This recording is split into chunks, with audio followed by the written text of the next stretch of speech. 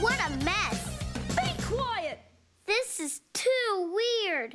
A voice coming from my sock drawer? Huh? So what are you staring at? Yuck! A boy. Haven't you ever seen a boy before? Not in my sock drawer. Oh, socks? I thought they were sleeping bags.